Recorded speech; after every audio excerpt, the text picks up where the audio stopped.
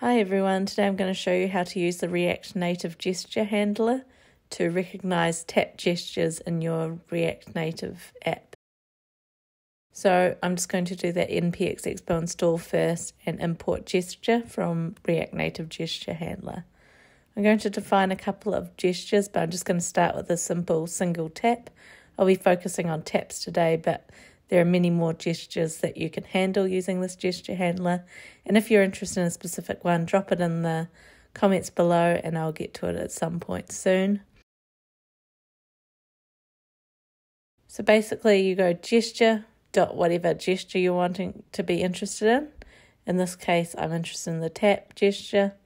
And then when that gesture ends, um, this callback is called and it will have an event argument and a success argument. If it's successful, then you might want to do something. I'm just going to console log that the event has happened, so a single tap. And if it's not successful, you might want to do something else, um, or you may just not do anything. So, in order to handle gesture on a particular component, you're going to want to wrap it in a gesture detector and pass your gesture to this gesture property. So my gesture is um, the the constant single tap. So I've wrapped this text component. So when I click on that text component, it says single tap, and anywhere where that text component is rendered, it will say single tap. You may also be interested in other types of taps, so you might want to um, consider double tap. So, if a user double taps, you might want to perform some action. It might be useful, for example, if you have a game and when you double tap, you might want to shoot um, a weapon or drop a bomb or something like that. So, yeah, when you're want, interested in a jump, double tap, you'll specify the number of taps you want and then once again, you're going to have that callback when the um, gesture is recognized. And once again, I'm checking whether it was successful.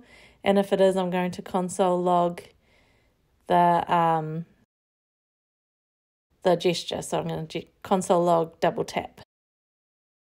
I'm just going to show you that once again as a single gesture. You can actually combine gestures, but I'm just going to show you the single ones initially.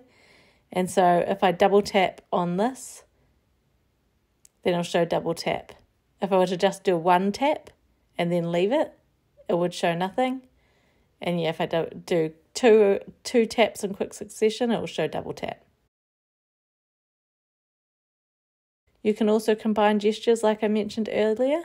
So there's a gesture exclusive, which is going to basically do one of your gestures and it takes the order the gestures are listed in as the um as which prior which one takes priority. So if I double tap, then it will um, take priority over single tap. Whereas if I single tap, it's not going to go to double tap because it's a not um, click twice. But if I double tap, then it wouldn't show single tap as well.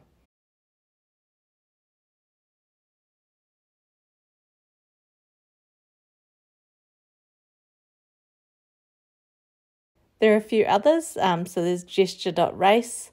And basically, the idea of this one is whichever happens first is the one that happens. So when I tap on the text component, one time, it's triggering that single tap. So if I try to quickly tap twice, it actually was giving me a single tap still because that was taking um, precedence because of that race um, gesture combi- combiner. Finally, I'm going to show you simultaneous. So I thought simultaneous would show both if I did a double tap, but it seems to just be going to single tap.